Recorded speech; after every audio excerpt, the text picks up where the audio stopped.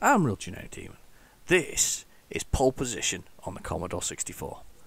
Right, okay, so this is Pole Position on the Commodore 64. It's a game that, that I've played before. It's an arcade game. It's based on an arcade game. A lot of the stuff was back in the 80s, actually, if I'm brutally honest. A lot of it really was. Um, and, and I just fancied trying it on the uh, the Commodore 64, see what it's like. So let's just go for it. It's a racing game. You're basically racing against the time, round lap. We're playing this um, um, um Fuji... Fuji, Fuji, Fuji, it's Fuji, isn't it? Why can't I pronounce things today? Fuji Speedway, um, and we're going around there. So well, let's give it a try. So let's just go straight into it. Um, I played it recently on the well, recently I said probably a few months ago actually now um, on the arcade challenge. It wasn't a game that I was um, overly over, overly sort of uh, enamored by when I resaw it. Funny thing is, I remember being good in the day, but but not so good in the in the in the, in in in the sort of the the scale of of, of things, you know, nowadays, if that makes sense. So here's our little thing. It doesn't feel very responsive on the road, to be honest with you. Let's get up to high gear. Not as responsive as I remember it being. Nice, nice big chunky graphics. So we've got to overtake the cars. Basically, got to go around the lap um, before the time runs out. Um, we've got, I think we're doing four laps of this race. I think that's what it said at the beginning. Let's try not to destroy our car. You've got a high and low gear, which is changed by the gear by, by the fire button. Um, and we basically race around in, in as fast as we can. Overtaking cars for extra points. It's very arcadey. I mean, that's exactly what it was based on It's an arcade game. There's a lot of that stuff in the 80s, and most of it was arcade games that were converted. And that was terrible. That crash detection there was just awful ended up touching that when I wasn't wasn't wasn't wasn't I don't think I was anywhere near it but anyway. We're going past him. Hopefully we'll go past him. I've just crashed into him again. Nowhere near him as far as I could work out there. Didn't even touch him. There we go. My starting position is 8th I'm done really badly. But at least I finished the course. We got a lot of music I'm not sure. I, I hate to say it. I'm, I, I'm a, I'm a, I'm a thing about this. I'm a big believer in.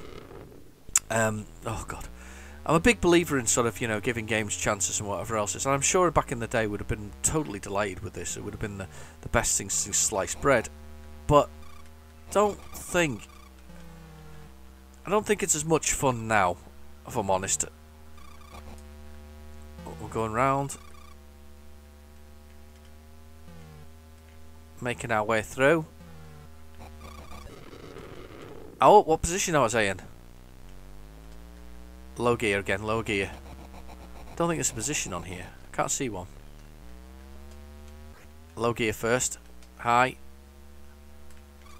There was a game years ago. I was very much obsessed with it. It was just a came on a cover cover cassette, and uh, I remember the the game itself was just about racing cars and going around it. And I used to spend ages on it, and the graphics weren't even that that impressive, but the gameplay was really good.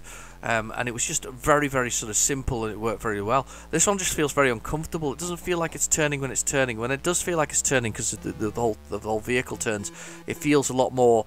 You know, it feels okay, but but as I say, it's not. It's not. It doesn't feel very comfortable.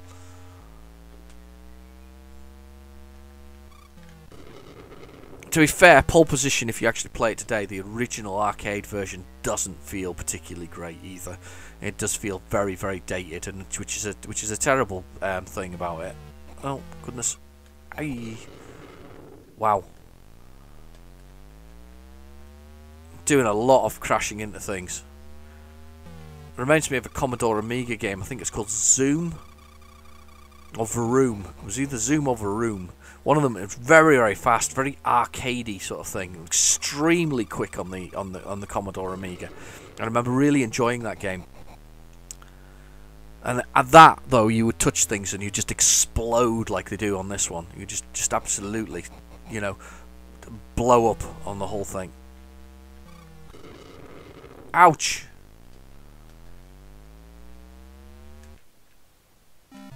Wow. Got some bonuses there for passing things. And that's basically it. pole position. It's really it. There's not not an awful lot to it. It's just a time-based racing thing, and you just keep on going until you've been around all the tracks, and that's that's the size of it. It's one of those games that um, replaying it, um, even on the arcade, I, I didn't enjoy it as much as I remember enjoying it. And I think I, I think uh, nostalgia was a definite uh, definite winner in, in in the case of the, this originally, you know, in the, in the in the way it is. So. Um, not the best, and I don't think I don't think the Commodore version's necessarily the best. I'm sure I'm going to get loads of trouble for that because I'm sure there's lots of people who think it's fantastic. But mm, rose tinted sun, rose tinted glasses for that, I think. Anyway, I've been your host, Real Generic Demon. Thanks for watching. Please feel free to like and subscribe, and I'll catch you in the next video. Bye bye now.